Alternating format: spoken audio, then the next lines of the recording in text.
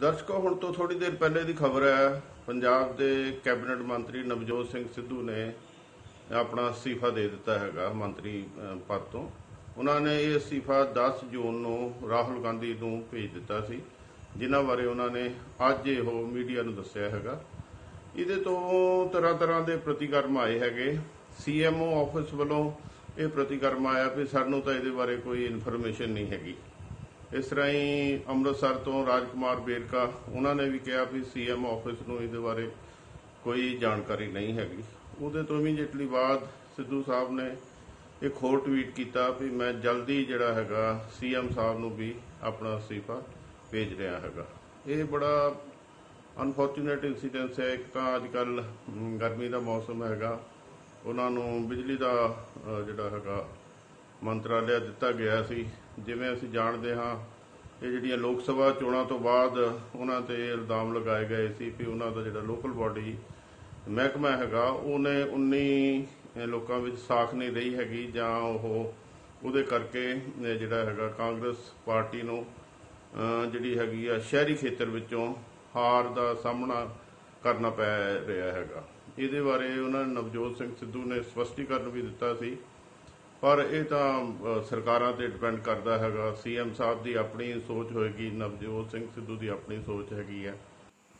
ਇਹ ਸਾਰਾ ਘਟਨਾਕ੍ਰਮ ਕੈਪਟਨ ਸਾਹਿਬ ਵਰਸਸ ਸਿੱਧੂ ਰਿਫਟ ਉਦੋਂ ਸ਼ੁਰੂ ਹੋਈ, ਜਦੋਂ ਲੋਕ ਸਭਾ ਦੀਆਂ ਚੋਣਾਂ ਦੌਰਾਨ ਇੱਕ ਮੁਕਤਸਰ 'ਚ ਰੈਲੀ ਨੂੰ ਸੰਬੋਧਨ ਕਰਦਿਆਂ ਉਹਨਾਂ ਨੇ ਫ੍ਰੈਂਡਲੀ ਮੈਚ ਦਾ ਜ਼ਿਕਰ ਕਰਦਾ। ਜਿਹਦਾ ਆਬਵੀਅਸ ਲਿੰਕ ਸੀ ਵੀ ਆਪਣੇ ਬਾਦਲ ਸਾਹਿਬ ਤੇ ਕੈਪਟਨ ਸਾਹਿਬ ਕੁਝ ਗੱਲਾਂ ਤੇ ਅੰਦਰੋਂ ਇਹਨਾਂ ਦੀ ਇਕਸੁਰਤਾ ਹੈਗੀ ਆ, ਜਿਹਦਾ ਕੈਪਟਨ ਸਾਹਿਬ ਨੇ ਬਹੁਤ ਬੁਰਾ ਮਨਾਇਆ।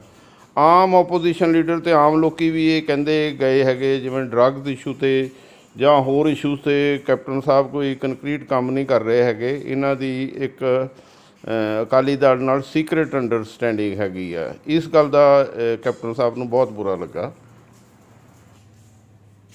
ਪੋਲੀਟੀਕਲ ਮਾਹਰੇ ਵੀ ਮੰਗਦੇ ਹੈਗੇ ਆ ਵੀ ਇਹਨਾਂ ਨੇ ਰੈਜ਼ਿਗਨੇਸ਼ਨ ਪ੍ਰੋਪਰ ਨਹੀਂ ਦਿੱਤਾ ਜਿਹੜਾ ਉਹਨਾਂ ਨੇ ਕਿਹਾ ਵੀ ਮੈਂ ਜਲਦੀ ਸੀਐਮ ਨੂੰ ਵੀ ਅਸਤੀਫਾ ਭੇਜ ਰਿਹਾ ਹਾਂ। ਸਾਹਿਬ ਜਦੋਂ ਦੀ ਪੰਜਾਬ ਪੋਲਿਟਿਕਸ ਵਿੱਚ ਆਏ ਹੈਗੇ ਉਹਨਾਂ ਦੀਆਂ ਕੁਝ ਅਹਿਮ ਪ੍ਰਾਪਤੀਆਂ ਬਾਰੇ ਦੱਸਣਾ ਸਾਡੇ ਦਰਸ਼ਕਾਂ ਨੂੰ ਜ਼ਰੂਰ ਬਣਦਾ ਹੈਗਾ।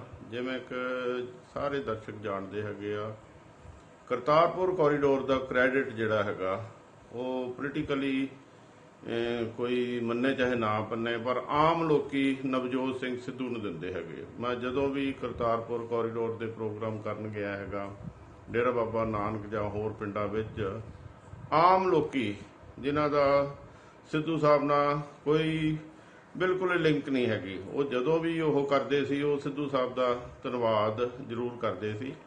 ਇੱਕ ਇਹ ਵੀ ਸ਼ਾਇਦ ਰੀਜ਼ਨ ਸੀ ਕੈਪਟਨ ਸਾਹਿਬ ਤੇ ਸਿੱਧੂ ਸਾਹਿਬ ਦੀ ਆਪਸੀ ਰਿਫਟ ਦਾ। ਕਿਉਂਕਿ ਜਿਵੇਂ ਜਿਵੇਂ ਉਹ ਪਾਕਿਸਤਾਨ ਦੇ ਪ੍ਰਧਾਨ ਮੰਤਰੀ ਇਮਰਾਨ ਖਾਨ ਨੇ ਉਹਨਾਂ ਨੂੰ ਇੱਧਰ ਬੁਲਾਇਆ ਹੈਗਾ, ਫਿਰ ਕਿਵੇਂ ਉਹ ਡੇਰਾ ਬਾਬਾ ਨਾਨਕ ਫੰਕਸ਼ਨ ਹੋਏ, ਕਿਵੇਂ ਸਿੱਧੂ ਸਾਹਿਬ ਨੂੰ ਉੱਥੇ ਅਣਗੌਲਿਆਂ ਕੀਤਾ ਗਿਆ ਹੈਗਾ, ਉਹ ਸਾਰਾ ਇੱਕ ਪ੍ਰੋਸੈਸ ਉਦੋਂ ਤੋਂ ਸ਼ੁਰੂ ਹੋ ਗਿਆ ਸੀ। ਫਿਰ ਦੂਸਰਾ ਉਹ ਉਹਨਾਂ ਦੇ ਮਹਿਕਮੇ ਵਿੱਚ ਲੋਕਲ ਬਾਡੀਜ਼ ਵਿੱਚ ਰਹਿ ਕੇ ਜੋ ਕੁਝ ਉਹ ਕੰਮ ਕਰਨਾ ਚਾਹੁੰਦੇ ਸੀ, ਉਹਨਾਂ ਨੂੰ ਸ਼ਾਇਦ ਉਨੀ ਆਜ਼ਾਦੀ ਨਹੀਂ ਸੀ, ਤਾਂ ਕਿ ਉਹ ਇੰਡੀਪੈਂਡੈਂਟਲੀ ਆਪਣੇ ਜਿਹੜੇ ਹੈਗੇ ਆ ਉਹ ਜਿਹੜੇ ਡਿਸੀਜਨ ਜਿਹੜੇ ਹੈਗੇ ਆ ਮਹਿਕਮੇ ਵਿੱਚ ਉਹ ਇੰਪਲੀਮੈਂਟ ਕਰ ਸਕਣ। ਪੋਲੀਟੀਕਲ ਫਰੰਟ ਤੇ ਵੀ ਉਹਨਾਂ ਦੀ ਆਮ ਪਤਾ ਹੈਗੀ ਆ। ਜਿਹੜਾ ਬਰਗਾੜੀ ਕਾਂਡ ਵਿੱਚ ਉਹਨਾਂ ਦਾ ਇੱਕ ਆਪਣਾ ਵਿਊ ਪੁਆਇੰਟ ਸੀ। ਫਿਰ ਡਰੱਗ ਇਸ਼ੂ ਤੇ ਜਿਹੜੀ ਐਸਟੀਐਫ ਸੀ, ਉਹਦਾ ਆਪਣਾ ਜਿਹੜਾ ਹੈਗਾ ਇੱਕ ਉਹਨਾਂ ਦਾ ਇਸ਼ੂ ਸੀ। ਤੇ ਉਹ ਇਵੇਂ ਫੀਲ ਕਰਦੇ ਸੀ ਵੀ ਉਹਨਾਂ ਦਾ ਜਿਹੜਾ ਹੈਗਾ ਪੋਲੀਟੀਕਲ ਕੈਪੇਬਿਲਿਟੀ ਨੂੰ ਉਹ ਬਾਰ-ਬਾਰ ਨਜ਼ਰਅੰਦਾਜ਼ ਕੀਤਾ ਜਾਂਦਾ ਰਿਹਾ ਹੈਗਾ। ਇਸ ਕਰਕੇ ਉਹ ਸ਼ਾਇਦ ਅੰਦਰੋਂ ਬਹੁਤੇ ਖੁਸ਼ ਨਹੀਂ ਸੀ। ਪਰ ਇਹਦੇ ਨਾਲ ਨਾਲ ਇੱਕ ਗੱਲ ਇਹ ਵੀ ਕਹਿਣੀ ਪੜਦੀ ਹੈਗੀ ਆ ਬੀਇੰਗ ਸੀਐਮ ਕੈਪਟਨ ਸਾਹਿਬ ਦਾ ਪ੍ਰੈਰੋਗੇਟਿਵ ਹੁੰਦਾ ਹੈ ਵਾ ਕਿਹੜੇ ਮੰਤਰੀ ਨੂੰ ਕਿਹੜਾ ਅਹ, ਆਪਣੇ ਮਹਿਕਮਾ ਦੇਣਾ ਹੈਗਾ। ਜੇ ਉਸ ਮਸਲੇ ਵਿੱਚ ਉਹਨਾਂ ਦਾ ਉਹਨਾਂ ਨਾਲ ਕੋਈ ਮਤਭੇਦ ਸੀ ਤਾਂ ਉਹ ਕੈਪਟਨ ਸਾਹਿਬ ਨਾਲ ਮੇਰੇ ਖਿਆਲ ਨਿੱਜੀ ਮੀਟਿੰਗ ਕਰਕੇ ਉਹ ਸਾਰਾ ਐਕਸਪਲੇਨ ਕਰ ਸਕਦੇ ਸੀ। ਜਾਂ ਉਹ ਜੇ ਐਕਸਪਲੇਨ ਵੀ ਕੀਤਾ ਤਾਂ ਉਹ ਮੈਚੁਰ ਨਹੀਂ ਹੋਇਆ ਹੈਗਾ। ਪਰ ਇਸ ਕਰਕੇ ਇਹ ਸਾਰਾ ਜਿਹੜਾ ਹੈਗਾ ਇਨਸੀਡੈਂਸ ਹੋਇਆ ਹੈਗਾ। ਇਹਦੇ ਨਾਲ ਨਾਲ ਇੱਕ ਹੋਰ ਉਹਨਾਂ ਦੀ ਅਹਿਮ ਪ੍ਰਾਪਤੀ ਹੈਗੀ ਆ। ਉਹਨਾਂ ਨੇ ਕਲਾਕਾਰਾਂ ਨੂੰ ਬਹੁਤ ਪੈਟਰਨਾਈਜ਼ ਕੀਤਾ। ਚੰਡੀਗੜ੍ਹ ਸ਼ਰੀਫ ਹਿੰਦੂ, ਉਹਨਾਂ ਨੂੰ ਉਹਨਾਂ ਨੇ ਆਪਣੇ ਨਿੱਜੀ ਪਾਕਟ ਵਿੱਚੋਂ ਕਾਫੀ ਉਹਨਾਂ ਦੀ ਫਾਈਨੈਂਸ਼ੀਅਲ ਸਪੋਰਟ ਕੀਤੀ। ਹੋਰ ਵੀ ਜਿਹੜੇ ਡਿਜ਼ਰਵਿੰਗ ਕਲਾਕਾਰਾਂ ਦੀ ਉਹਨਾਂ ਨੇ ਜਦੋਂ ਜਦੋਂ ਹੋਏ ਆਪਣੇ ਸਰਕਾਰੀ ਖਜ਼ਾਨੇ ਚੋਂ ਨਹੀਂ ਆਪਣੇ ਨਿੱਜੀ ਪਾਕਟ ਵਿੱਚੋਂ ਹੈਲਪ ਕੀਤੀ ਹੈਗੀ। ਇਹਦੇ ਨਾਲ ਨਾਲ ਉਹਨਾਂ ਦੇ ਇੱਕ ਸਟਾਈਲ ਦਾ, ਉਹਨਾਂ ਦੇ ਆਪਣਾ ਇੱਕ ਸਟਾਈਲ ਆ ਵੀ ਉਹਨਾਂ ਤੇ ਕਦੀ ਕੋਈ ਕਰਪਸ਼ਨ ਦੇ ਇਲਜ਼ਾਮ ਨਹੀਂ ਲੱਗੇ ਹੈਗੇ। ਉਹਨਾਂ ਦੀ ਛਵੀ ਬਿਲਕੁਲ ਸਾਫ਼ ਸੀ। ਇੱਕ ਬਹੁਤ ਇਮਾਨਦਾਰ ਮੰਤਰੀ ਵਾਲੀ ਟਿਲ ਡੇਟ ਰਹੀ ਹੈਗੀ ਆ। ਤੇ ਇਸ ਤਰ੍ਹਾਂ ਦਾ ਜਿਹੜਾ ਪੋਲੀਟੀਸ਼ੀਅਨ ਸਟੇਟ ਵਿੱਚ ਹੋਣਾ ਬਹੁਤ ਲਾਜ਼ਮੀ ਆ, ਕਿਉਂਕਿ ਅਸੀਂ ਤਰ੍ਹਾਂ ਤਰ੍ਹਾਂ ਦੇ ਜਿਹੜੇ ਵੱਖ-ਵੱਖ ਮਹਿਕਮਿਆਂ ਵਿੱਚ ਕਰਪਸ਼ਨ ਦੇ ਇਲਜ਼ਾਮ ਸੁਣਦੇ ਹੈਗੇ ਆ। ਜਿਹਦੇ ਕਰਕੇ ਕਈ ਵਾਰੀ ਮਨ ਨੂੰ ਬੜਾ ਦੁੱਖ ਹੁੰਦਾ ਹੈਗਾ।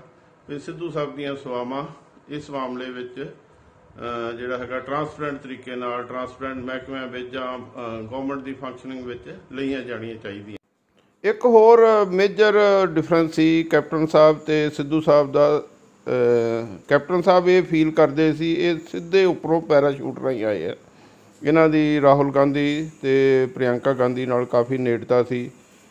ਇਹਨਾਂ ਨੂੰ ਵੀ ਵੀ ਉਹਨਾਂ ਤੇ ਕਾਫੀ ਭਰੋਸਾ ਸੀ ਵੀ ਮੈਂ ਜੋ ਗੱਲ ਕਹੂੰਗਾ ਮੰਨੂਗਾ, ਪਰ ਜਦੋਂ ਇਹਨਾਂ ਦਾ ਮਹਿਕਮਾ ਚੇਂਜ ਹੋਇਆ ਹੈਗਾ, ਰਾਹੁਲ ਗਾਂਧੀ ਨੇ ਵੀ ਅਹਿਮਦ ਪਟੇਲ ਹੁਣਾਂ ਨੂੰ ਆਪਣੇ ਉਹ ਸ- ਜ਼ਿੰਮੇਵਾਰੀ ਸੌਂਪ ਦਿੱਤੀ ਹੈਗੀ। ਜਿਹੜਾ ਉਦੋਂ ਤਾਈਂ ਟਿਲ ਡੇਟ ਕੋਈ ਹੱਲ ਨਹੀਂ ਨਿਕਲਿਆ ਹੈਗਾ, ਉਦੋਂ ਇਹ ਸਿੱਧੂ ਸਾਹਿਬ ਨੂੰ ਇੰਡੀਕੇਸ਼ਨ ਲੈ ਲੈਣੀ ਚਾਹੀਦੀ ਸੀ ਵੀ ਰਾਹੁਲ ਗਾਂਧੀ ਜਾਂ ਹੈਲਪ ਕਰਨ ਦੀ ਮੇਰੀ ਕੈਪੇਬਲ ਨਹੀਂ ਜਾਂ ਉਹ ਕਰਨਾ ਨਹੀਂ ਚਾਹੁੰਦੇ ਹੈਗੇ ਇਹਨਾਂ ਨੂੰ ਆਪਣਾ ਮਹਿਕਮਾ ਰਿਜ਼ਿਊਮ ਕਰ ਲੈਣਾ ਚਾਹੀਦਾ ਸੀ। ਸਵਾਲ ਹੈਗਾ ਵੀ what is the next course of action ਦੇਖੋ ਇੱਕ ਕੈਪੇਬਲ ਤੇ ਅੱਛਾ ਮੋਟੀਵੇਸ਼ਨਲ ਸਪੀਕਰ ਜਿਹਦੀ ਲੋਕਾਂ ਵਿੱਚ ਅੱਛੀ ਸੇ ਹੈਗੀ ਆ ਲੋਕੀ ਪਸੰਦ ਕਰਦੇ ਆਮ ਲੋਕੀ ਪਸੰਦ ਕਰਦੇ ਹੈਗੇ ਤੇ ਹਰ ਕੋਈ ਪਾਰਟੀ ਚਾਹੇਗੀ ਉਹਨਾਂ ਨੂੰ ਖਿੱਚਣਾ ਆਪਣੇ ਵੱਲ।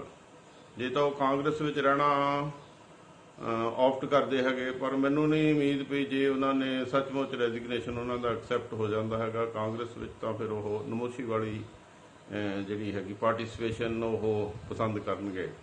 ਇਹਦੇ ਨਾਲ ਨਾਲ ਪੰਜਾਬ ਫਰੰਟ ਤੇ ਵੀ ਸਿਮਰਦੀਪ ਸਿੰਘ ਬੈਂਸ ਜਾਂ ਹੋਰ ਪਾਰਟੀਆਂ ਵੀ ਉਹ ਉਹਨਾਂ ਨੂੰ, ਉਹਨਾਂ ਦੀ ਲੀਡਰਸ਼ਿਪ ਥੱਲੇ ਕੰਮ ਕਰਨ ਲਈ ਮੇਰੇ ਖਿਆਲ ਤਿਆਰ ਹੋਣਗੀਆਂ। ਪੰਜਾਬ ਵਿੱਚ ਵੀ ਕੋਈ ਇਸ ਤਰ੍ਹਾਂ ਦਾ ਫਰੰਟ ਬਣ ਸਕਦਾ ਹੈਗਾ, ਜਿਹੜੀਆਂ ਅਗਲੇ 2 ਸਾਲ ਵਿੱਚ ਕਾਂਗਰਸ ਤੇ ਸ਼੍ਰੋਮਣੀ ਅਕਾਲੀ ਦਲ ਨੂੰ ਇੱਕ ਟਫ ਫਾਈਟ ਦੇ ਸਕਦਾ ਹੈਗਾ। ਦੂਸਰਾ ਅੱਜ ਕੱਲ ਮੋਦੀ ਸਾਹਿਬ ਹੁਣੇ ਲੋਕ ਸਭਾ ਤੇ ਉਹ ਬੜੀ ਉਹਨਾਂ ਨੇ ਸ਼ਾਨਦਾਰ ਜਿੱਤ ਕੀਤੀ ਹੈਗੀ ਆ। ਪੋਲਿਟਿਕਸ ਵਿੱਚ ਸਭ ਕੁਝ ਪੋਸੀਬਲ ਹੁੰਦਾ, ਕਹਿੰਦੇ everything is fair in love and war ਹਰ ਕੋਈ ਬੜੀ ਗੱਲ ਨਹੀਂ, ਉਹ ਬੀਜੇਪੀ ਤੋਂ ਆਏ ਸੀ। ਬੀਜੇਪੀ ਦੇ ਜਿਹੜੇ ਸੀਨੀਅਰ ਲੀਡਰ ਉਹਨਾਂ ਨੂੰ ਮਨਾ ਕੇ ਉੱਧਰ ਲੈ ਜਾਣ। ਤੇ ਉਹਨਾਂ ਦੀਆਂ ਸਵਾਵਾਂ ਪੰਜਾਬ ਵਿੱਚ ਵੀ ਭਵਿੱਖ ਵਿੱਚ ਲਈਆਂ ਜਾ ਸਕਦੀਆਂ ਹੈਗੀਆਂ। ਨੈਸ਼ਨਲ ਲੈਵਲ ਤੇ ਵੀ ਲਈਆਂ ਜਾ ਸਕਦੀਆਂ ਹੈਗੀਆਂ। ਕਿਉਂਕਿ ਉਹਨਾਂ ਵਿੱਚ ਤਿੰਨ ਗੁਣ ਹੈਗੇ ਆ। ਇੱਕ ਤਾਂ ਬਹੁਤ ਅੱਛੇ ਸਪੀਕਰ ਹੈਗੀ ਆ। ਇੱਕ ਆਪਣੀ ਉਹਨਾਂ ਦੀ ਛਵੀ ਜਿਹੜੀ ਹੈਗੀ ਆ ਇੰਟੈਗ੍ਰਿਟੀ ਉਹਨਾਂ ਦੀ ਬਿਲਕੁਲ ਸਾਫ਼ ਸੁਥਰੀ ਹੈਗੀ ਆ।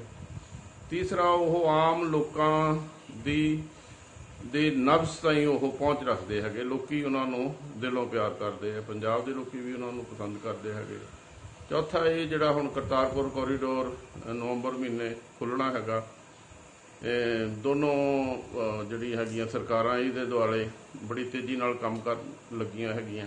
ਪਾਕਿਸਤਾਨ ਵੱਲੋਂ ਵੀ 70 75% ਕੰਮ ਕੰਪਲੀਟ ਹੋ ਗਿਆ। ਇੰਡੀਆ ਸਾਈਡ ਤੋਂ ਵੀ 30 35% ਹੋ ਗਿਆ ਹੈਗਾ।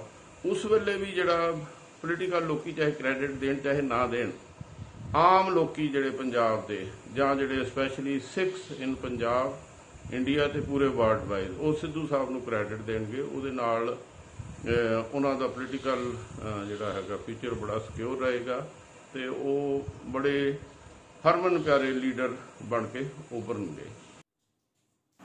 ਸਿੱਧੂ ਸਾਹਿਬ ਦਾ ਭਾਵੇਂ ਕਾਂਗਰਸ ਵਿੱਚ ਕੰਟੀਨਿਊਸ਼ਨ ਹੋਵੇ, ਭਾਵੇਂ ਉਹ ਪੰਜਾਬ ਵਿੱਚ ਕਿਸੇ ਹੋਰ ਫਰੰਟ ਨਾਲ ਜੁੜਨ ਭਾਵੇਂ ਉਹ ਬੀਜੇਪੀ ਵਿੱਚ ਜਾਣ ਹੈਗਾ, ਉਹਨਾਂ ਦਾ ਇੱਕ ਗੱਲ ਤਾਂ ਸ਼ੋਰ ਹੈ ਪੋਲੀਟੀਕਲ ਫਿਊਚਰ ਬੜਾ ਸਿਕਿਉਰ ਹੈਗਾ, ਕਿਉਂਕਿ ਪੋਲੀਟੀਕਲ ਫਿਊਚਰ ਸਿਕਿਉਰ ਤੋਂ ਇਲਾਵਾ ਉਹਨਾਂ ਦੀ ਇੱਕ ਆਪਣੀ ਐਂਟਰਟੇਨਮੈਂਟ ਇੰਡਸਟਰੀ ਵਿੱਚ ਚੰਗੀ ਮਾਰਕੀਟ ਹੈਗੀ ਆ, ਜਿਹਦੇ ਰਾਹੀਂ ਉਹ ਚੰਗਾ ਆਪਣਾ ਨਾਮ ਵੀ ਕਮਾ ਰਹੇ ਆ ਤੇ ਪੈਸਾ ਵੀ ਕਮਾ ਰਹੇ ਤੇ ਲੋਕਾਂ ਨੂੰ ਮਨੋਰੰਜਨ ਵੀ ਦੇ ਰਹੇ ਹੈਗੇ। ਇਹਦੇ ਨਾਲ ਨਾਲ ਉਹ ਪੋਲੀਟੀਕਲੀ ਵੀ ਮੇਰਾ ਖਿਆਲ ਆ, ਪੰਜਾਬ ਦੇ ਲੋਕਾਂ ਨੂੰ ਤੇ ਭਾਰਤ ਨੂੰ ਸੇਧ ਦਿੰਦੇ ਰਹਿਣਗੇ। ਬਹੁਤ ਬਹੁਤ ਮਿਹਰਬਾਨੀ।